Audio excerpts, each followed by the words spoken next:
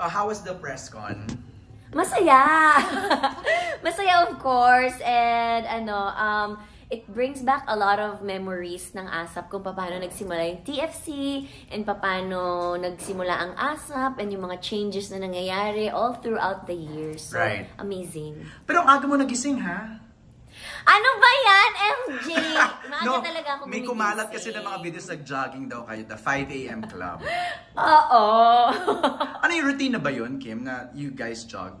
ano, hindi ko alam. Pero parang masarap kasi tumakbo sa malamig, Right, sa right. ibang bansa. And then, Right. nagra-run naman talaga Oo. ako and sip ako dati. and yung kasama namin sila Milan. So yun. Oh, si pero- Ate Yani na next sama. Na- baka gusto mo sumama. Baka gusto mo sumama. Ang Road to no, no, fitness na to. I want, kaso lang ang aga, Kim. Hindi ko kaya ng 5 Kailangan mag... Ano yan? Strong mind, strong body. Okay, okay. Pero who influenced who? Um, actually, tumatakbo lang talaga ako. Okay. Favorite ko talaga mag-run. Okay. Lalo na sa ibang bansa. Mag-isa lang. Okay. Ngayon, na nagkaroon, ah, nagkaayaan naman na, and Right. then si Pao din pala, mahilig din siyang tumakbo. Right. Actually, mas mabilis na siya tumakbo sa akin. Oo. Yun, hanggang sa, okay, sige tara, tama tayo. O, kamusta? Na-reunite kayo after a Grabe while? naman, MJ. Okay naman.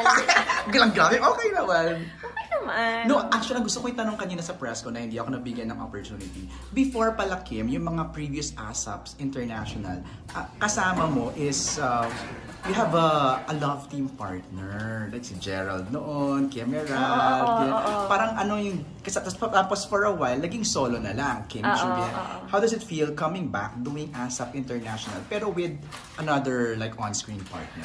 Um, nakakatuwa lang kasi parang yung support ng mga tao sa, parang naka three generation lo- love team or ano, nakakatuwa lang. And then, parang nakakagulat na may mga international fans Right. na nandito, mga Pinoy na sobrang mag-support. Kim, madami ha? And sobrang magmahal. So parang very grateful sa edad kong to. Parang Right. meron pang sumusuporta ng may ka-tandem. So Right. sobrang happy and thankful. Kim sa airport.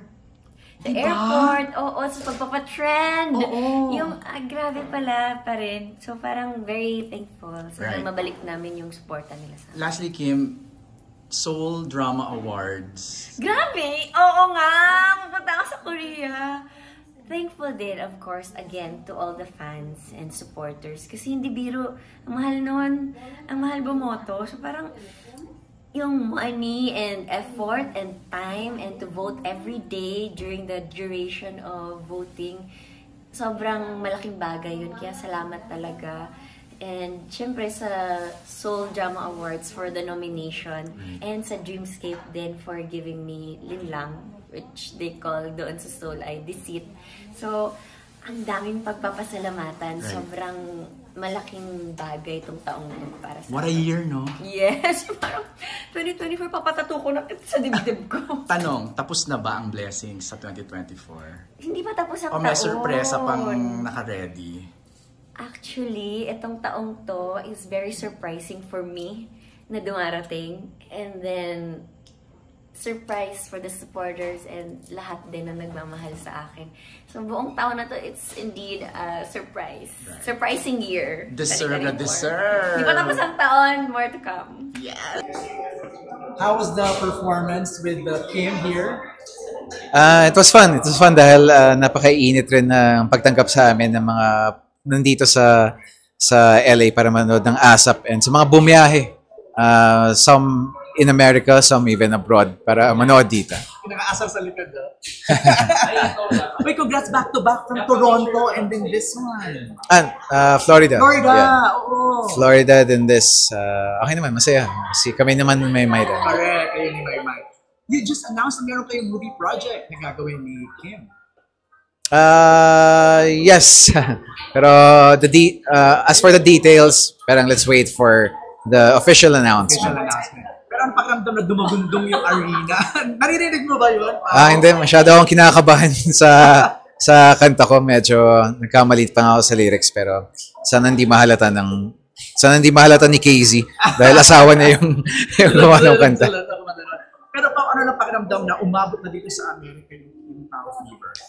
Um, well, as long as we put smiles uh, on people's faces, as long as masaya sila, uh, nagpapasaya kami, parang I'm I'm thankful and grateful and um, I hope we can continue uh, pa- I hope patuloy kaming makapagbigay ng saya sa mga kapamilyas natin, not just in the Philippines but also around the world. Right. Last na lang, the 5 a.m. run lagi. May mga pictures na kumakalat in videos na nag-run kayo ni Kim. Hmm. Hindi naman, nakakayayaan lang. So, kung sino yung available, sama. Kung sino yung hindi nagigising, iwan. Pero naging habit niyo na, no? Everywhere you go. Ako I almost run talaga when I'm, especially when I'm abroad dahil ah, minsan yung mga place na pinagsastayan namin, wala rin mga gym. So, running is the quickest and easiest uh, form of working out uh, for me. Right. Last question. Na-miss mo ba si Kim the time that you guys were apart? Mabilis lang. Ma halos hindi ko siya, halos hindi, mabilis lang. Sobrang bilis. Saka medyo nag-a-adjust din sa time zone so parang doble bilis. Ah, alright.